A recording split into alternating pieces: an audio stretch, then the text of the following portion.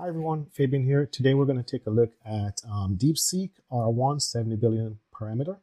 Let's get at it. So Ollama list will show us that we do have this guy here, the DeepSeek R170B. And what we're going to do now is Ollama run. We're going to paste that in. It comes back there and then just ask it a simple question. That's how fast it came back. It's going to say, hello, my name is Fabian. Who are you? Who are you? All right.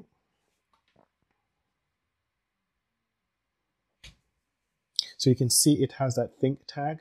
Um, in between that think tag is just, it basically reasoning to figure out how it's going to respond to me. And um, you know, look at just even the language. You can see it's you know it's really self-reflecting. It's really really using you know human language, and there it is right there. I'm DeepSeek. Um, me this information. AI assistant created by a Chinese company. Yada yada yada. So let's go down and ask it some sensitive question. Who is the leader of Taiwan? All right. Again, you know, notice the speed on here. Notice the GPU clocking. You know, uh, 40 cores of GPU really pushing out 90 some odd 8%. And you can see that you know, it's really moving at a healthy clip. Um, you know, there are several different um, distill models. Um, this one is the 70B, and I believe um, this one is distilled off um, the Llama. And um, then the, only other one after this is basically the big boy. And I, you know, my machine is not going to be able to do that. But this is pretty cool that you can do that. And notice it comes back and said um, here, uh, sensitive nature. I I should provide a leader's name, include some background, and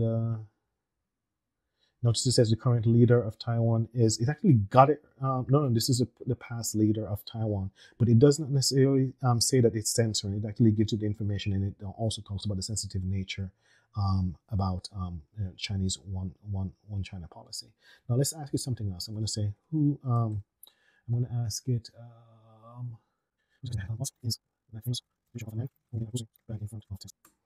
obviously here I'm referring to the Tiananmen Square um, picture that's um, somewhat iconic.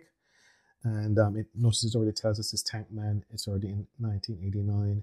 He's going to explain the historical context. Again, not self-censoring. It's um, it's also important to um, to mention the man's um, identity remains unknown. Talks about resistance, and there it is. It's coming back, and it provides information. So not self-censoring. Um, this is a local model. It's running on my machine here.